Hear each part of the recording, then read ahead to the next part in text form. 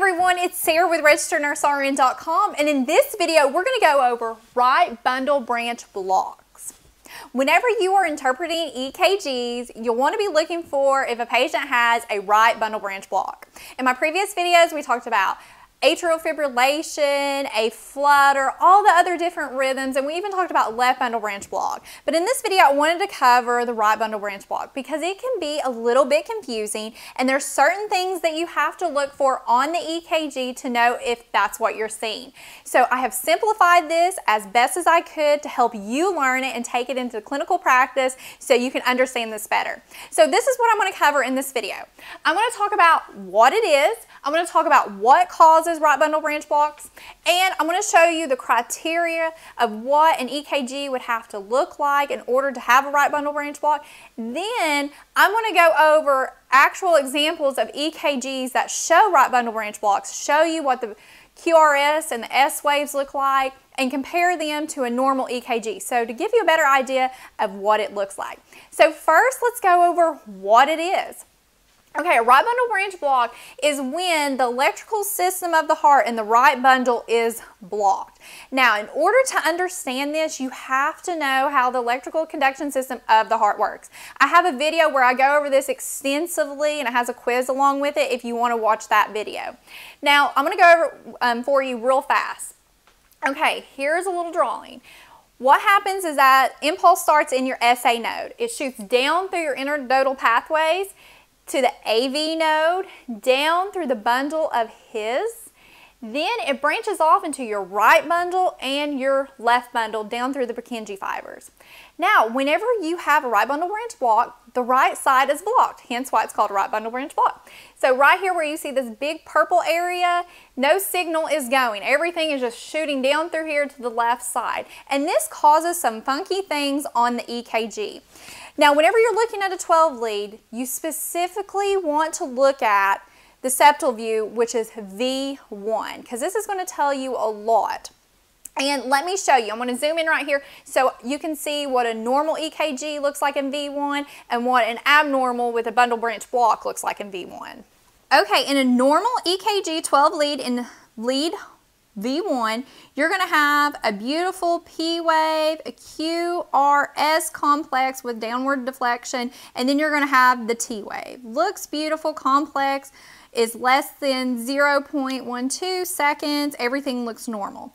Now, on the contrary, when you have an abnormal EKG in V1 with you're suspecting a right bundle branch block, this is how it's going to present. You're going to have your P wave proceeding. That's one thing, it has to be sinus, so you'll have your P wave. Then all of a sudden, you're going to have this thing. A lot of people call it rabbit ears and M shape. Very important. It's a hallmark sign. You're going to have a little Q, little R, and then an S. And then all of a sudden, you're going to have another R wave, which is called R prime, and then your T wave. And this is one of those hallmark signs that you're going to see in definitely V1. You may see it in V2 and V3. And all it is is that you have, they call it the RSR prime. It's just a small R wave with a tall R prime wave afterwards. And sometimes you may see that this first R wave is nice and tall and then the second R wave is small. So you can also see that phenomenon as well. Now let's talk about the causes of right bundle branch block. Okay, there's various causes of what can cause a right bundle branch block. Number one, it's a congenital heart defect. They were born with this. Number two, they've had an MI, a myocardial infarction, aka a heart attack that's damaged some of the heart muscle, heart tissue. Myocarditis, meaning that they either got a viral or a bacterial infection that affected the heart muscle. Uncontrolled high blood pressure or a pulmonary embolism. A lot of times if these right bundle branch blocks are sudden, they just appear all of a sudden in someone that's normally healthy, um, they might suspect that the patient has a PE, which is a blood clot in the lung. So let's talk about the criteria of how you would know if this is a right bundle branch block, because there are certain criteria that you have to have.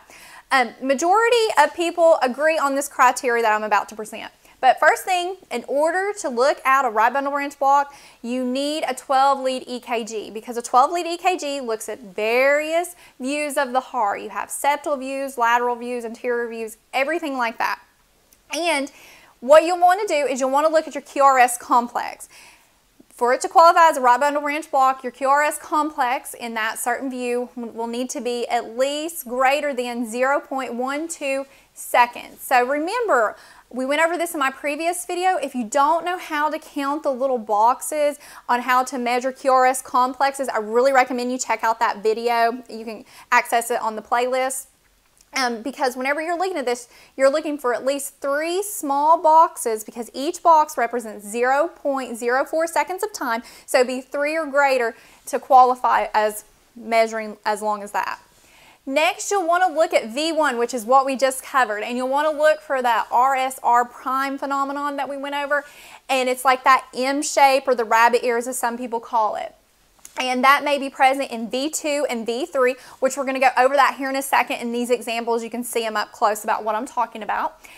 And in the lateral leads, um, I'm going to show you that here in a second, but in the lateral leads, which are V6, lead 1, and lead AVL, that looks the lateral view of the heart, you're going to see what is happening to the S wave. It's looking deep and wide and a little slurred. So not only is V1 going to have that M shape, V2 and V3 can have that M shape as well, but V6, lead 1, and AVL is going to have an S wave that's going to look slurred, it's going to look wide and deep. So if you see that, you definitely got a wide bundle branch block.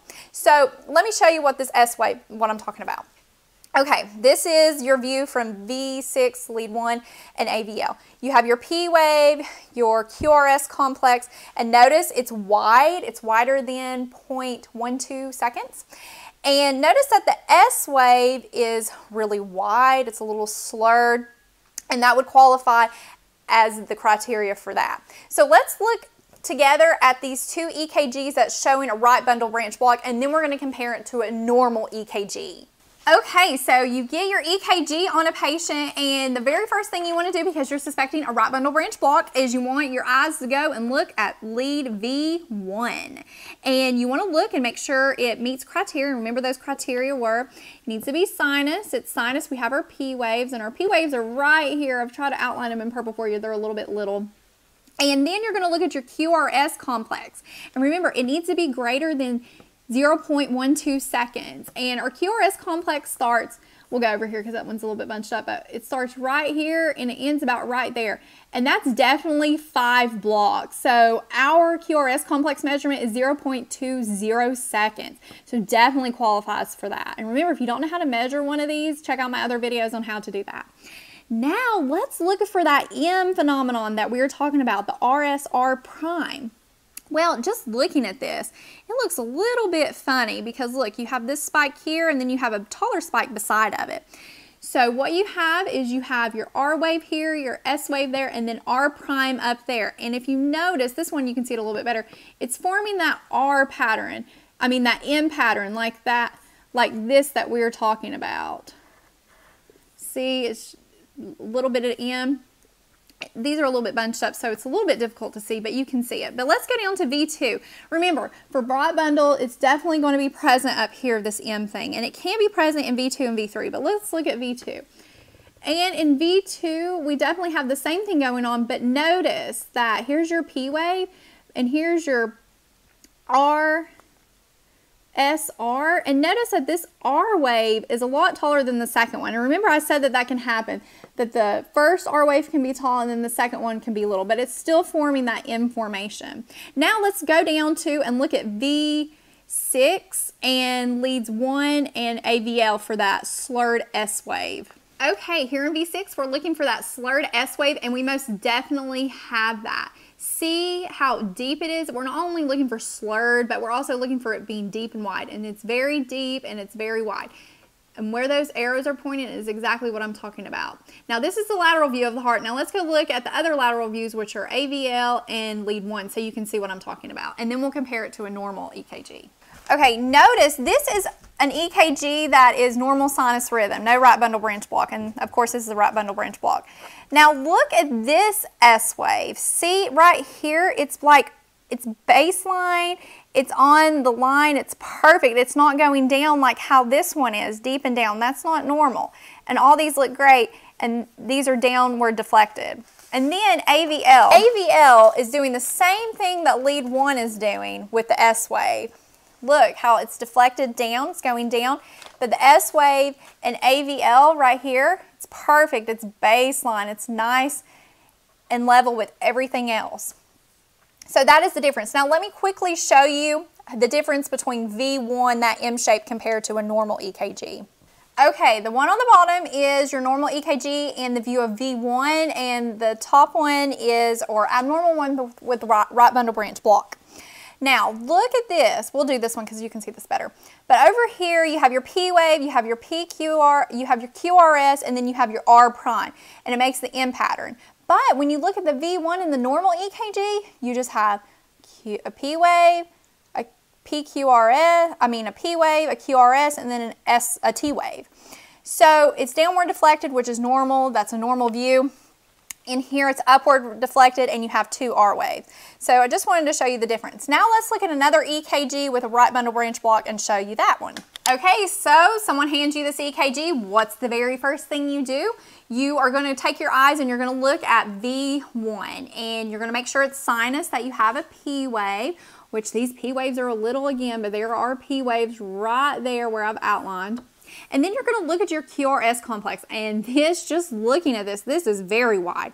It starts right here and it ends right there. That's like almost 10 squares. So that's definitely greater than 0.12 seconds. Then you're going to look at V, the V1 with that R, S, R prime complex with that M. And as you can already tell by just looking at this, it has that appearance.